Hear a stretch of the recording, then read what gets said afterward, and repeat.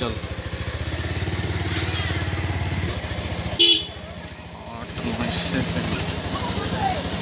চলা একদম eh? হ্যাঁ, একদম ইয়াতে কি কইছে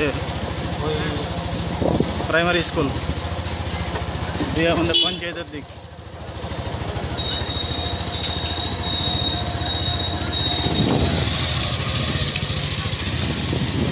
চল